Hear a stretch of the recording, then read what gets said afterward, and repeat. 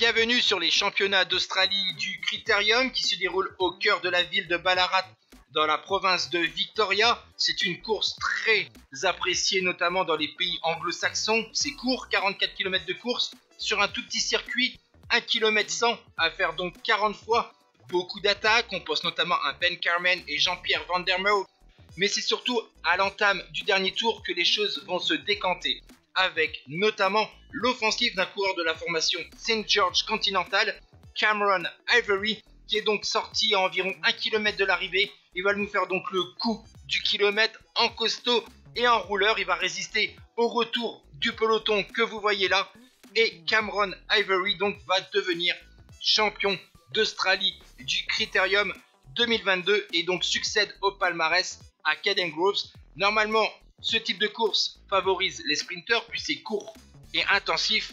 Mais là, un baroudeur entre guillemets est sorti et a réussi à faire un effort d'un kilomètre pour s'imposer. Il devance Alster Christie de la Johnston Brand Lane et Cameron Scott de la ARA Pro Cycling. Et voici donc le top 10 de cette course.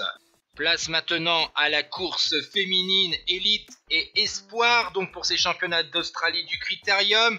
Là aussi 40 tours de 1,1 km, mais cette fois-ci la formation World Tour Team Bike Exchange Jaiko ne va pas être surpris sur cette course, encore une fois un rythme très rapide. Il va avoir qu'une dizaine de filles qui vont pouvoir se disputer finalement la victoire au sprint. Et là, la formation Team Bike Exchange va mettre à l'avant Alexandra Manley pour protéger les intérêts de Ruby Rossman Gannon, deuxième l'an dernier lors des championnats d'Australie du Critérium.